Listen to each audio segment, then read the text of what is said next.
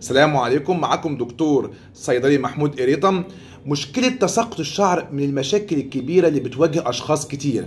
عشان كده جبنا لكم العلاج اللي هيخلصكم من كل مشاكل الشعر واللي هيمنع تساقط الشعر ويزود كثافة الشعر ويمنع تقصف الشعر.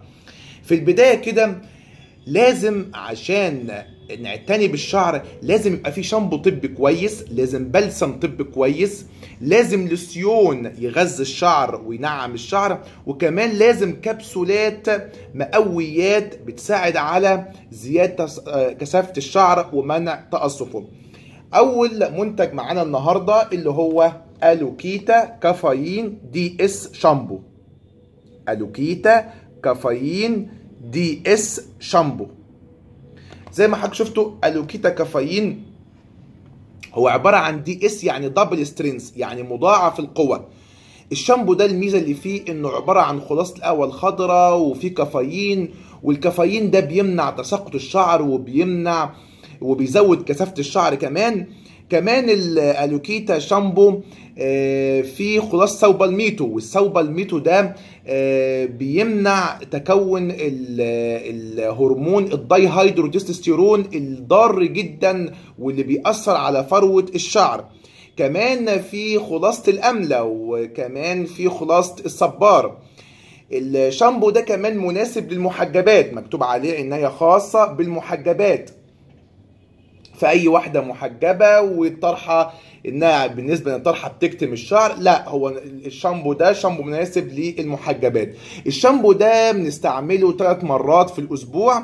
من نغسل الأول شعري بالمية وبعد كده بنحط الشامبو كمية بسيطة خالص من الشامبو على الشعر وبندلك الشعر والفروة. ونسيب الشامبو على الشعر دقيقتين ثلاث دقايق وبعد كده نشطفه. الكلام ده ثلاث مرات في الأسبوع. طبعا بعد ما غسلت بالشامبو لازم نستعمل بلسم طبي كويس. من أفضل المنتجات اللي موجودة في السوق المصري اللي, بتساعد على نعومة الشعر وبتستخدم بعد الشامبو كبلسم مرطب هو تريتو بلسم. تريتو بلسم زي ما حضراتكم شايفين. البلسم ده الميزة اللي فيه إنه طبيعي.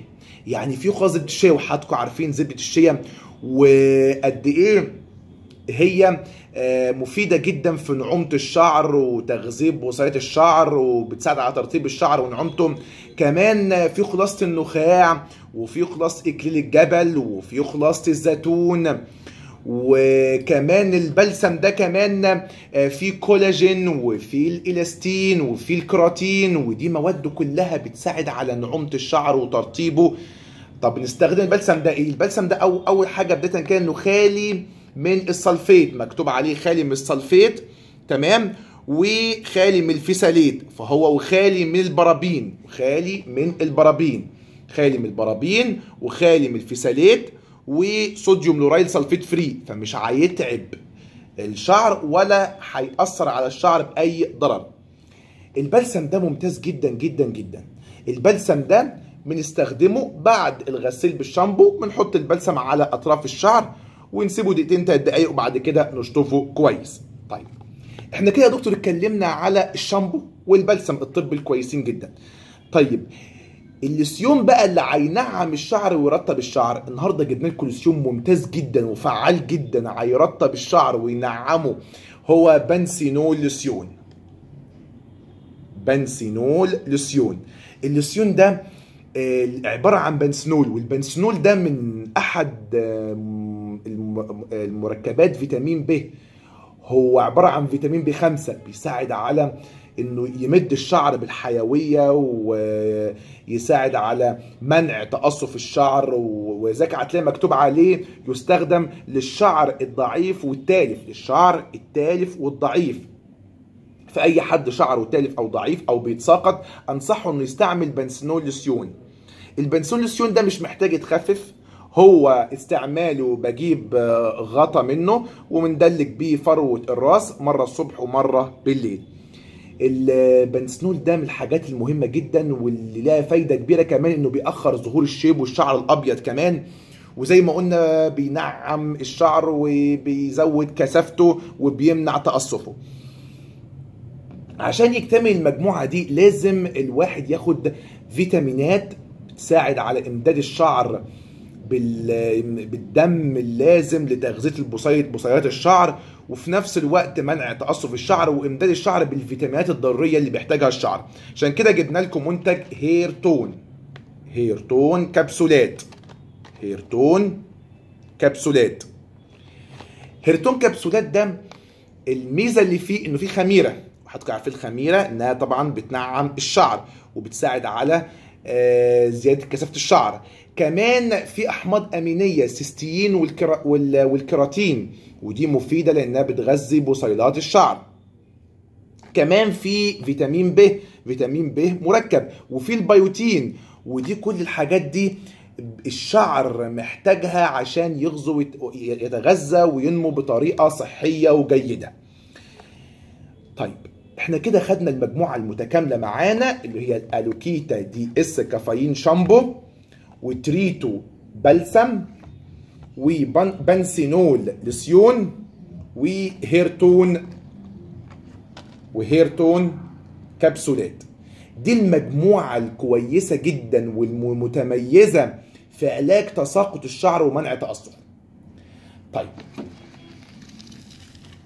عايزين نعرف أسباب تساقط الشعر. إيه يا دكتور اسباب تساقط الشعر؟ تساقط الشعر اسبابه كتير. منها أول سبب وأهم سبب الانيميا عشان كده أنصح أي حد بيتساقط شعره إنه يعمل تحليل صورة دم. ولو طلع عنده أنيميا لازم يعالج الأنيميا الأول. لازم ياخد حاجة زي ال Feroglobin ال Ferrotron ال Theragran H وغيرها من المنتجات المتميزة اللي موجودة في السوق المصري. مش بس كده. ده كمان الأسباب تساقط الشعر استخدام الصبغات والفرد الشعر. كمان التوتر والعصبية والنرفزة من الحاجات كمان اللي بتأثر على بصيله الشعر وتخلي بتقلل تدفق الدم لبصيلات الشعر. عشان كده لازم نبعد عن العصبية والتوتر. ناخد الأكلات اللي فيها حديد زي التفاح والكبدة والعسل الأسود والخضروات والخرشوف والبتنجان. لو في أنيميا حتى لو مفيش أنيميا المنتج... ال... ال... الأكلات دي فعالة جدا إنها تغذي الشعر. بالإضافة للمجموعة اللي إحنا قلنا عليها اللي هي ال Hair Tone كبسولات والألوكيتا DS caffeine shampoo والتريتو بلسم وال panthenol lotion المجموعة دي متميزة جدا جدا جدا في علاج تساقط الشعر وفعلا بتجيب نتائج مع ناس ممتازه وفعلا بتنعم الشعر وبتمنع تقصفه وبتزود كثافة الشعر. يا ريت كل شخص يهتم بشعره. طبعا قبل ما انهي الفيديو كنت عايز أنبه على حاجة مهمة. العلاج ده بيستخدموه لعلاج الصلع الغير الوراثي. علاج الصلع الغير الوراثي. عشان لما حد يسألني ويقول الصلع اللي عندي دي دي صلع وراثي. العلاج ده للصلع الغير الوراثي تساقط الشعر الأسباب اللي إحنا قلناها سواء أنيميا سواء توتر آه، سواء عصبية استخدام فرد آه، شعر آه، واستخدام الصبغات كل حاجة بتضر الشعر. فعشان كده المجموعة دي متميزة لعلاج تساقط الشعر وعلاج تساقط الشعر اللي هو ناتج عن الصلع الغير وراثي. يا رب الفيديو يكون عجبكم ويا رب تكونوا استفدتم. سلام عليكم.